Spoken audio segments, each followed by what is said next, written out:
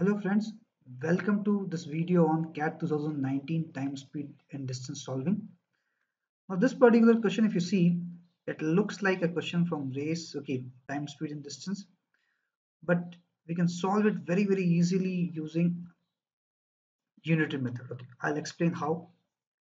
So we are given that three horses, first one beat, okay, so let, let me draw the figure first, okay, so first race, the first one is here second one is here. And third one is right 79 this total is 90 okay.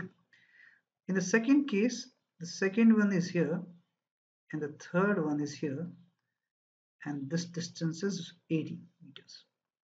Now we are asked what was the length uh, in meters of the race course. Okay this is a question which uh, was similar to one question asked in cat uh, cat previously okay which had the same question about three uh, races okay now if you see change between first case and second case okay if you look at the uh, first case and second case okay the lead the second one had over third one was 79 now it is 80 so to get a lead of additional one meter lead B has to travel how much?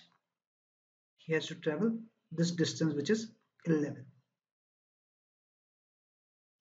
So for lead of 1 meter, B traveled one, uh, 11 meter. Now since their speeds are constant, okay, same throughout the run, that means the total lead B had was 80 meters at the end of the race. That means for 80 meters, B has to travel a total of 880 meters and that is the length of the race course. So answer is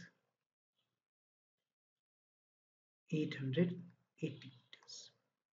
I hope the solution is clear. Thank you very much.